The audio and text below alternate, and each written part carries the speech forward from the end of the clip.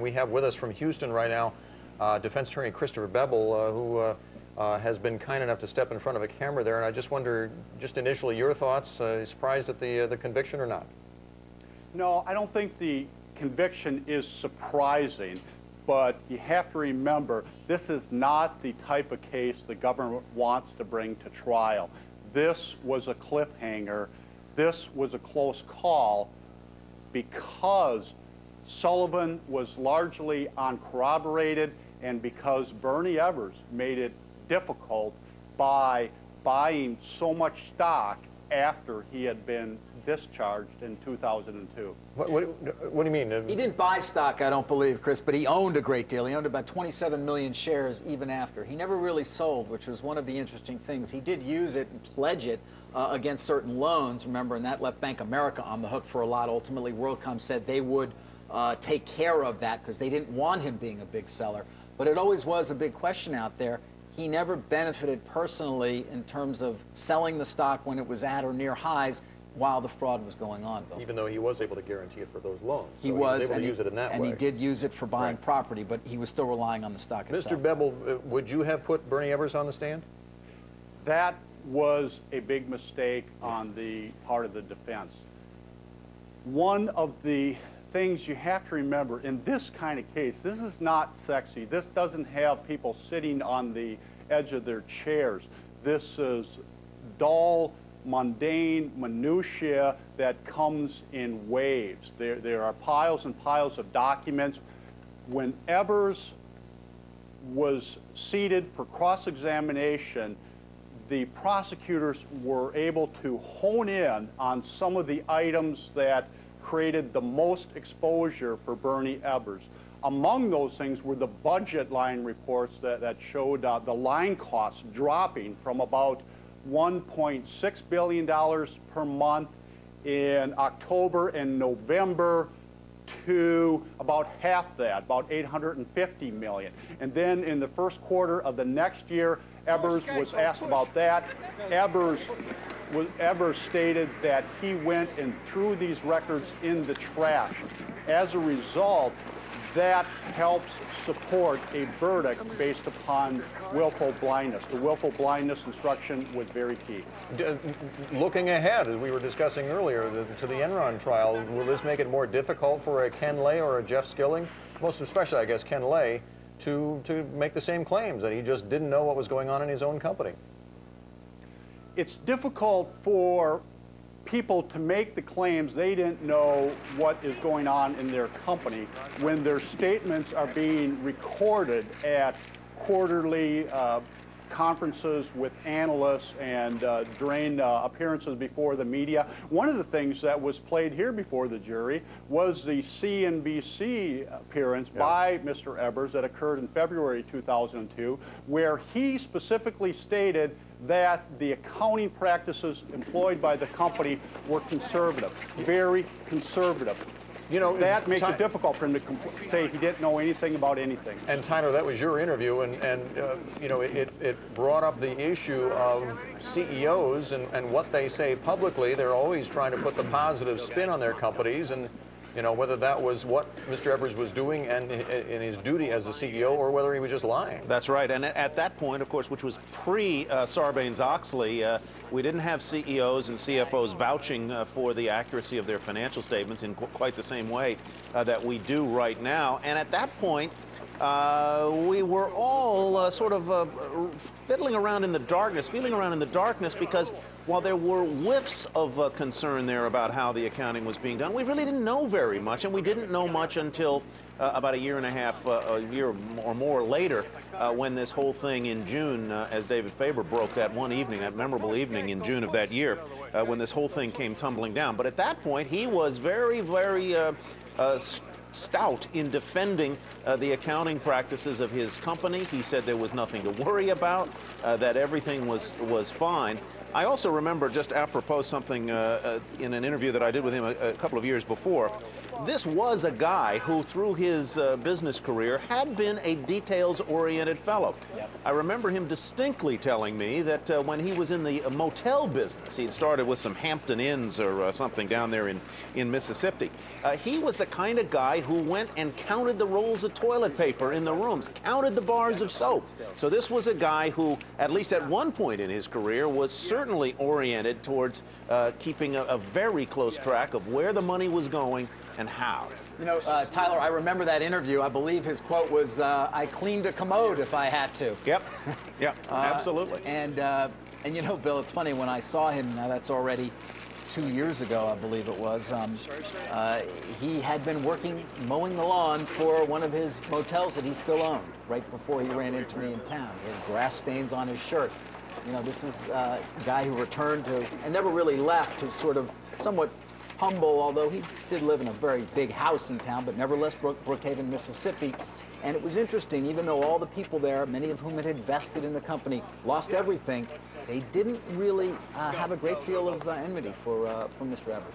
Mr. Bebel, let me ask you, just trying to read between the lines of the uh, statement that our Scott Cohn read from Reid Weingarten, that uh, maybe an appeal will come from them based on the, uh, the immunity granted to some of the uh, prosecution witnesses there from the company. Uh, is that a, a valid appeal in your view in this case?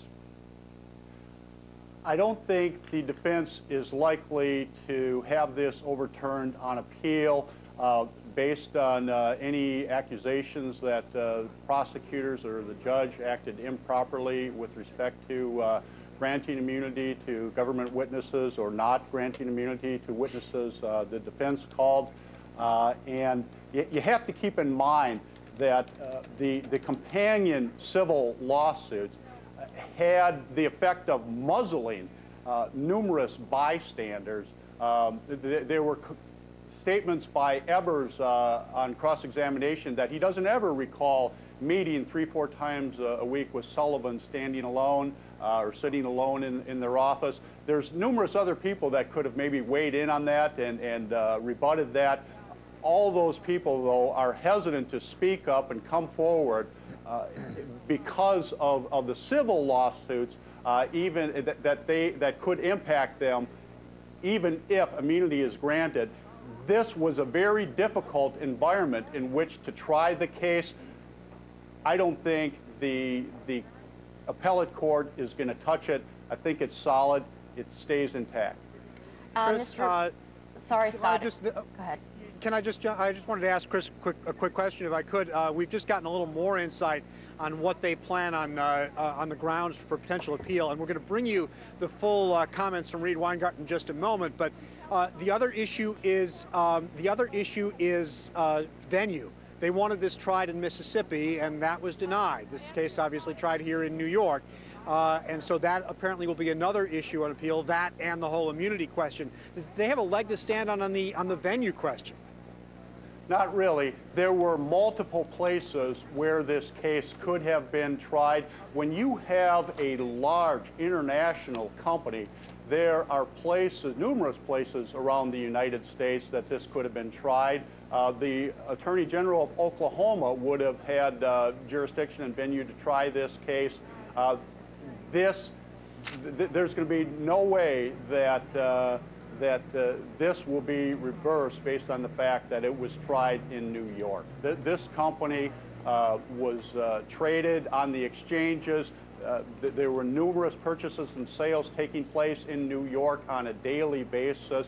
I'm talking about transactions in the securities of WorldCom. This was clearly uh, a, a, a situation where proper venue lied in New York. What else did you hear from uh, Mr. Weingarten there, Scott? Is that what you're coming back from? That, that was the main thing, uh, and again, we're going to get you that tape in a moment. Um, the other thing I, am wondering if we can get Chris to weigh in on is the broader issue here uh, on the war on corporate crime. We know there's going to be an Enron case coming up the first of next year. They have to be breathing a huge sigh of relief at the Justice Department that they got this conviction, uh, despite the so-called aw shucks defense, uh, that they can now continue in this in this effort to rein in some of these CEOs. Correct? Well, that, that's right. The Department of Justice has to be very happy here. The, if, if you look back in time, you remember that the Department of Justice investigated and investigated and investigated this thing. The, the government was very hesitant to bring charges. Finally, it was pretty much forced into bringing charges, uh, and it was uh, the, the Oklahoma Attorney General's office uh, forced DOJ's hand in that regard. The government went forward. It did its best. It, it corroborated Sullivan's testimony a little bit with uh, Sullivan's voicemail message, with the uh, statements of Myers, uh, wherein Bernie Ebbers supposedly apologized about lower level people being forced to make these accounting entries. the government also um, put into the mix Bernie Ebbers' statements on CNBC uh, in February 2002 where he uh, uh, proclaimed to have knowledge of uh, the accounting tendencies of the firm and, and, labeled them as conservative. All those things added up uh, to, to uh, give the government enough evidence to, to obtain a conviction. It's not the kind of case the government wants to bring to trial, but the government feels that when it can win this kind of case, when, when it can bring a case that is this thin and still uh, obtain an overwhelming victory, that is a very positive sign. It's going to, it's going to scare some of the people who are on the fence, uh, such as in the Enron broadband trial that's going to be coming up, uh, I believe it's April 18th, right. into cooperating, and the snowball is going to grow larger. The, the government's uh, uh, hand will go uh, will grow stronger as uh, as time goes on. All right. Now, as we said, uh, Mr. Ebbers himself left, as you saw, the uh, the courthouse without speaking to reporters, but his attorney, uh, the celebrated Reid Weingarten, did speak with the reporters a short time ago, and here's what he said. I'm extremely disappointed. I know Mr. Ebbers and I know the evidence in this case, and I was extremely hopeful that he would be vindicated. And I, uh, the, the fight continues, and if he obviously wasn't vindicated today, um, because I think the system works right, I expect them to be vindicated in the future after some of the errors made in the trial are remedied in the post-trial process. Are there any things that you might have done differently given the outcome? I'm a notorious second guesser, particularly uh, in connection with my own performance. I'll do that enough down the road.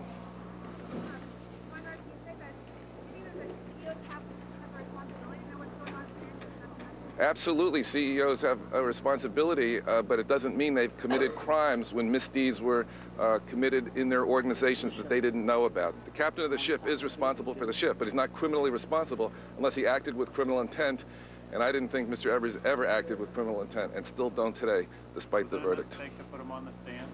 Uh, I, I, guess history will decide that. I didn't think it. I didn't think it was a hard call at the time, and I, am sure I would do it again today had I been had I been presented with the same situation. Hey, Reid, how quickly can we expect an appeal uh, in terms of filing? Get a sense. You know, I, I um, when it's mandated, you'll you'll get it. Reid, will you ask if you remain out pending appeal?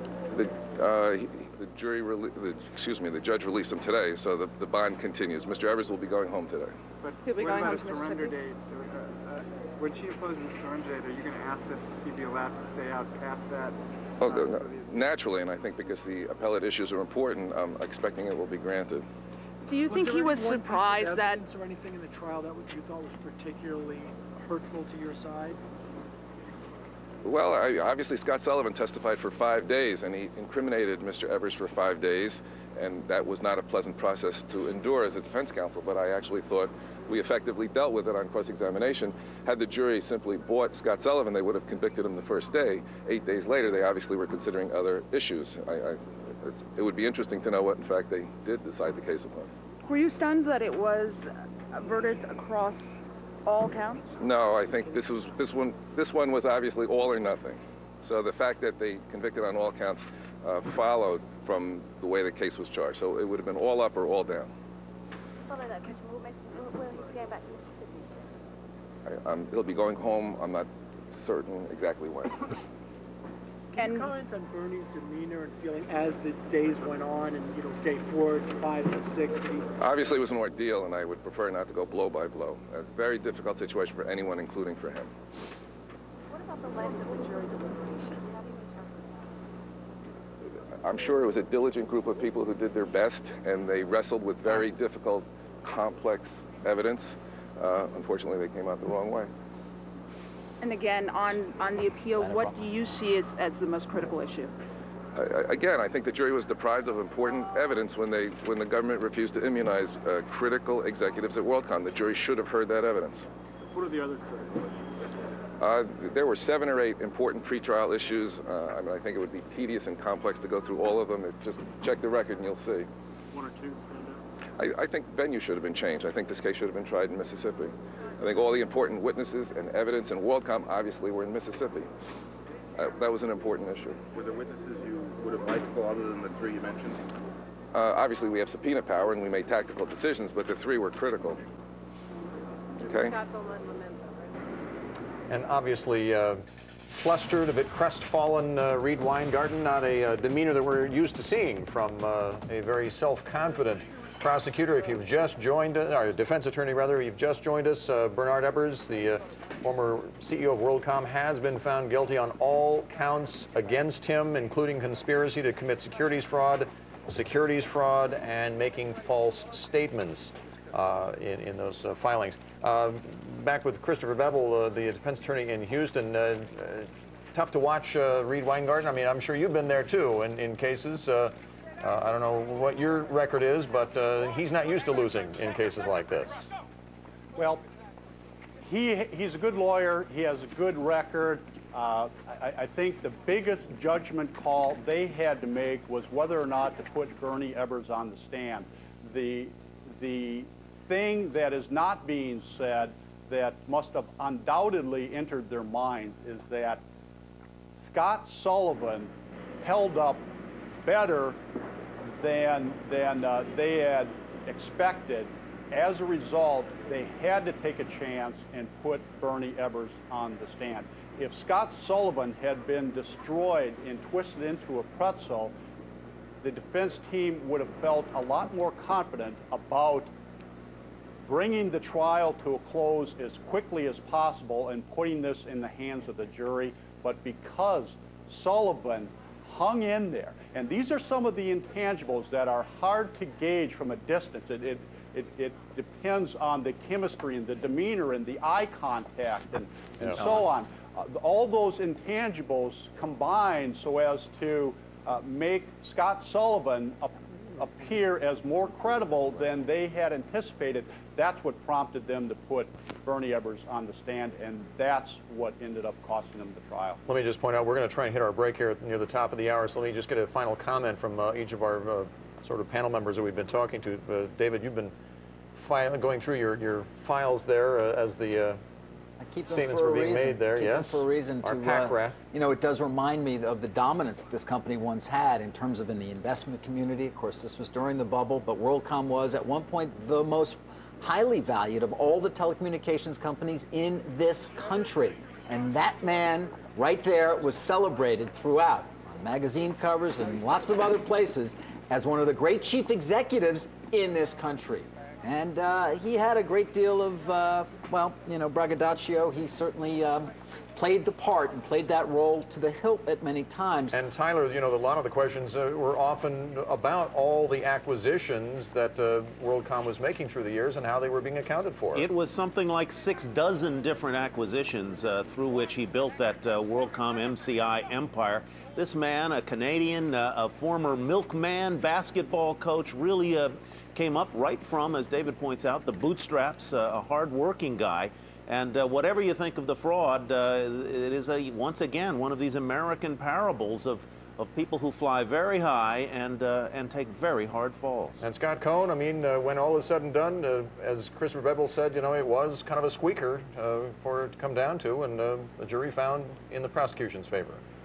Well, which which goes to uh, the the just superior lawyering on both sides, I suppose. Um, it was a it was a tough case, and for a lot of the reasons that, that Tyler was just alluding to. What a what a stunning rise and stunning fall for Bernie Ebbers, uh, someone who had put this company together really without any formal training in accounting, and then had to get the jury to believe that he didn't pick it up along the way. The jury didn't buy that. Uh, they bought what Scott Sullivan had to say, even though Scott Sullivan was an admitted liar, among other things. So uh, it was a very tough case, which is evidenced by the fact that it took them eight days to decide it. But beyond that, and very quickly here, Mr. Bebel, I'll let you have the last word. Uh, many people felt justice was not being served, not just in the WorldCom case, but in others as well, given the amount of time it took for the discovery process and bringing a lot of these tri trials to, uh, to trial, these cases to trial. It's better to, to measure twice and cut once. The, the government needs to put a lot of legwork into these in order to win. And when the government brings in these kind of cases and gets the guilty verdicts, it has a tremendous deterrent effect across the country. The old saying among prosecutors is, indict in haste, repent at leisure. That did not occur here. Gentlemen, uh, thank you. Uh, uh, maybe we'll ask you to stand by here. We're going to take our break here. Melissa and I will continue with the coverage of the, uh, the conviction today of Bernard Ebbers, the former CEO of WorldCom, after these messages.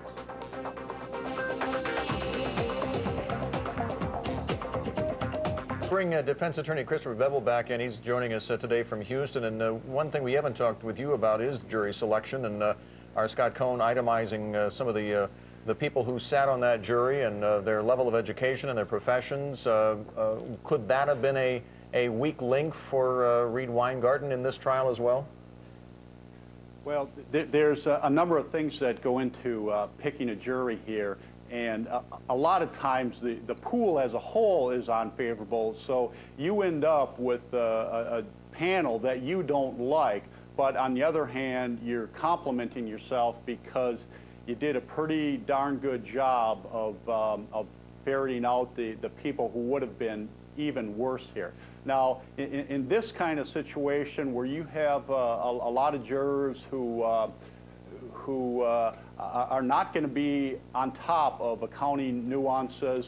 Um, they're going to look, and, and, they have never seen anybody who has even uh, enjoyed one hundredth of the uh, net worth that Mr. Ebbers had enjoyed, and, and uh, uh they're going to uh, they're going to have some envy over uh, the lifestyle he maintained with his big yacht and the big ranch and and Canada and so on, and, and that, that's, gonna, that's going to come into the equation even though they won't acknowledge it, even though they do their best to, uh, to subtract it from their thought process. Um, here, I think one of the, the big things was, was that uh, they heard early on some uh, testimony that put uh, Mr. Ebbers in an unfavorable light. Uh, such as uh, uh, counting the, the coffee filters, such as putting the regular uh, tap water into the, uh, the, the, spring water, uh, uh, whatever that is, the, the big bottle of uh, right. Ozarka water, and, and saying that the employees didn't notice a difference. little things like that put Ebbers in a, in a very distasteful light. It makes it easier to get guilty verdicts. And then when you have uh, documents that are taken out of uh, Mr. Ebbers' office, and they have lots of uh, uh handwritten uh, notations on it, highlighting, and, and, and, so on. Um, you, you, see that Mr. Ebbers did review budget reports and line item reports talking about the, um, the line expenses being at about $1.6 billion per month in October and November 2000, then dropping to about half that. Mr. Ebbers throwing uh, the, uh, the documents for the next quarter into the trash. Mr. Ebbers uh, uh making statements to David, David Myers about uh, how, how sorry he was that uh, lower level accounting people had to make these entries. Mr. Ebbers appearing on CNBC and characterizing the uh, accounting as uh, conservative. And then to top it off, you look at the the, the enormous uh, salary and stock options, uh, the company stepping in to guarantee loans on his behalf, right. and, and, they think, how can a guy like this, who is, uh, in, who is making so much money off this company, um, just serve as, as, a coach and a cheerleader. It doesn't add up. It doesn't work. We're not buying it. And that's what happened here. And so the blue collar mentality right. probably made it easier to reject Ebbers' defense. Mr. Bebel, we got we got to take a break, but we do have full team coverage of the Ebbers of the Bernie Ebbers verdict right here on Power Lunch. So stay tuned.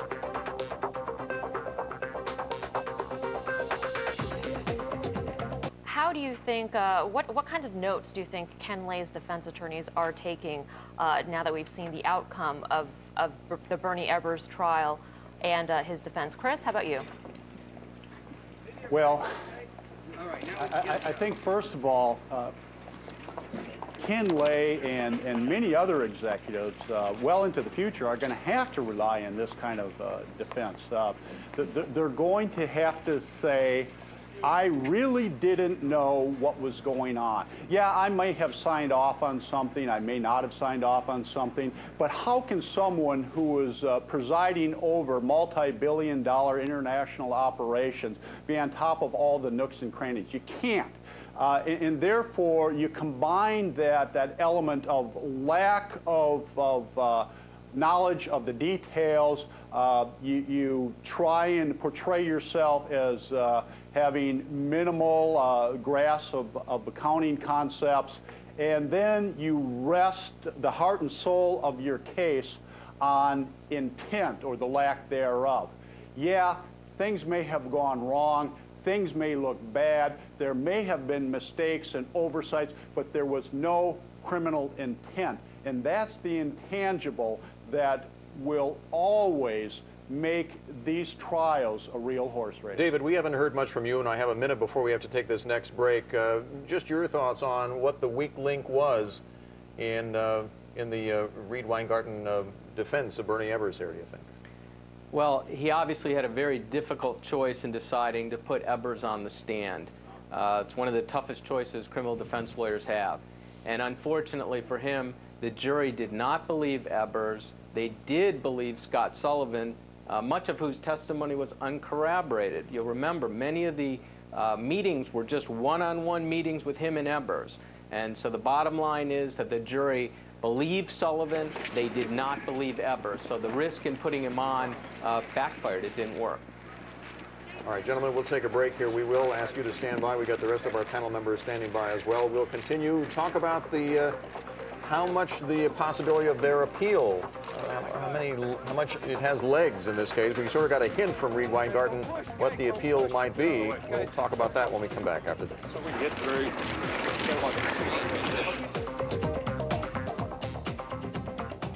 Back with some final thoughts from our panel members as we discuss the uh, uh, the conviction today of Bernard Ebbers on all counts against him in his uh, securities fraud trial. Uh, let me start with the attorneys that have been with us this hour. We thank you for your, your time with us. Uh, Chris Bebel, uh, very simply, was justice served in this trial? Yes, I think justice was served, and the prosecutors are to be commended for taking on this challenge. It was a tough case. What they did is they, they went the extra mile and cobbled together numerous bits and pieces of information to support their case. They joined that together with Scott Sullivan's testimony, and it was enough to convince the jury of Ebbers' guilt. They are deserving of accolades.